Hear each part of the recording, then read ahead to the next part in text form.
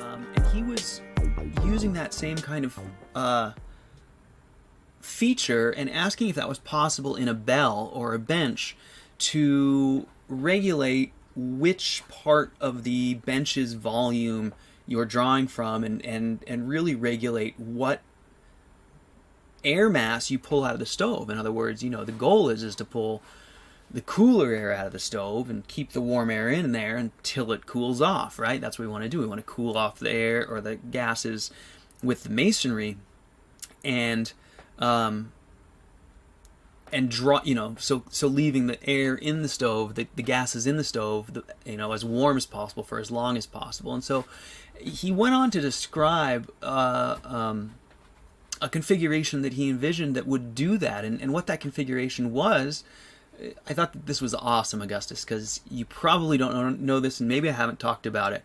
But the configuration you describe is one that I've recommended over and over again to people as the first step to take in tuning their builds. Okay?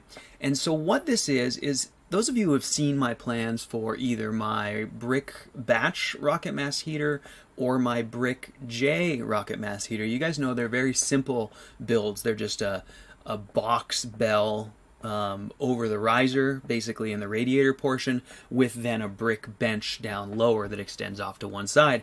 And many of the people who build my stoves, you know, one of the biggest questions I get is, can I extend this bench? And of course, as you guys know, my philosophy is you can increase that internal surface area up to not unlimited, but you know, you, there's a lot of leeway there because of the uh, control that a bypass gives us to drive draft via injecting hot air into the chimney.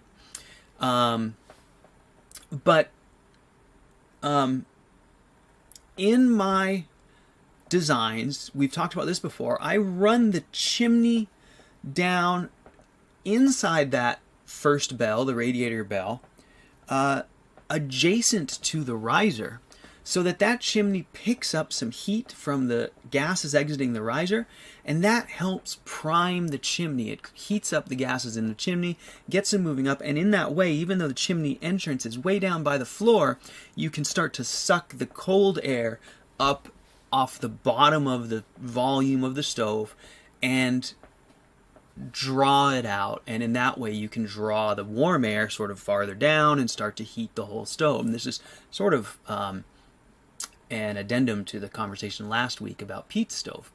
So, with that said, Augustus had a great question. He said, Can you run that chimney entrance down the bench? And in that way, can we draw the colder air from the very far end of the bench and um, and down low on the bottom with enhanced draft due to the nature of this part of the chimney being right next to the hot riser. Um, yeah, so I'm, I'm getting some interesting uh, comments from you guys. Well, we'll just keep going and see how these glitches work. I'm getting some errors over here too. I think it's just going to be the nature of it. So we'll just power through this one and see how it goes. And I already canceled my other internet, so we're going to have to work work with it. That's not true. I still have the cell phone internet. I canceled the DSL, and that never worked anyways.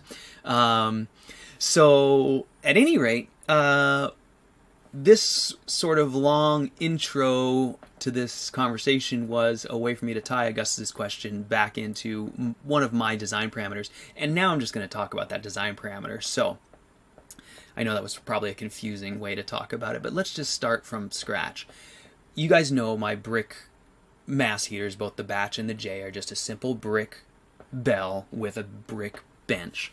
Now, as people start to extend that bench, what we start to see is we start to see um, a whole lot of cooling going on, and it starts to become not necessarily difficult to run the stove because we've got power draft because of the adjacency of the riser to the chimney.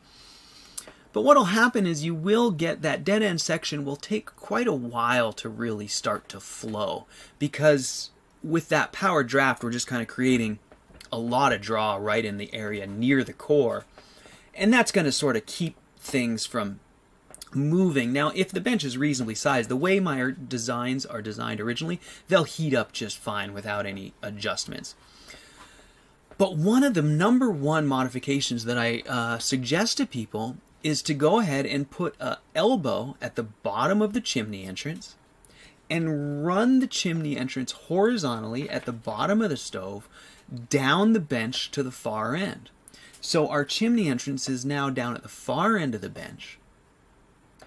However, that chimney still comes back internally near the core and still has the ability to gain draft by being warmed up by its being adjacent to the riser.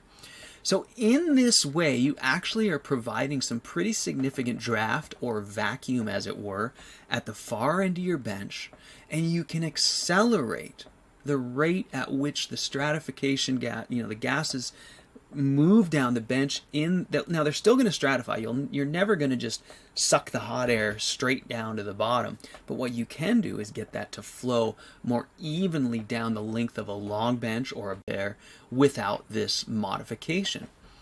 So i've had tons of emails from people when they're doing this can i extend the bench? What should i do uh, at this point you know when i get it this long? There's a corner here. Um, we've just started it up. The bench isn't very warm we've been burning for two months. The bench is really hot at this end and kind of cool at this end. Um, what are some things we can do? And so this is really probably my number one modification, but I don't suggest it right out of the gate because everyone's build is different and everyone's burn is different. You know, if you're burning for a long time all day, it may not be necessary. Um, but if you're trying to get heat to the bench in a short amount of time and and put some heat into the bench evenly, you know, it's a great way to go. So one of the neat things you can do is, like I said, just right off the bottom of that chimney entrance, put an elbow, and then run your chimney pickup, as it were, down that bench to wherever makes the most sense to you in terms of flow. So, um, yeah, we're dropping all kinds of all kinds of stuff here. So hopefully it'll come right back, and I'm just going to keep talking.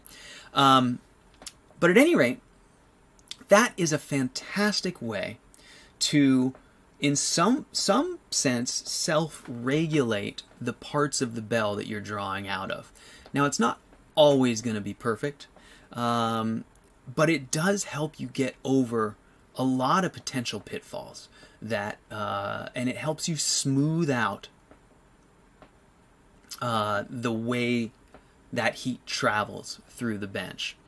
So um, there's the answer to that.